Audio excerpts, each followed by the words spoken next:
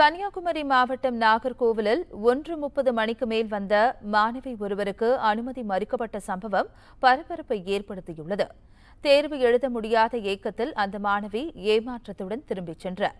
மேலும் நீட் தேர்வு எழுதிய மாணவ மாணவிகளுடன் வந்த பெற்றோர்களுக்காக உரிய ஏற்பாடுகள் செய்யப்படாததால் வெயிலின் தாக்கத்தால் புதலூரிலும் பெட்ரோல் பங்குகளிலும் லாரியின் அடிப்பாகங்களிலும் தஞ்சம் புகுந்தனர். உண்மை செய்திகளை உங்கள் கண்முன் கொண்டு வரும் காவிரி நியூஸின் யூடியூப் சேனலை சப்ஸ்கிரைப் செய்யுங்கள். நொடிக்கு நொடி நாட்டு நடப்புகளை தெரிந்து கொள்ள Kaveri news dot TV Facebook Instagram Twitter போன்ற சமூக வலைதள பக்கங்களோடு எப்போதும் இணைந்திருங்கள்.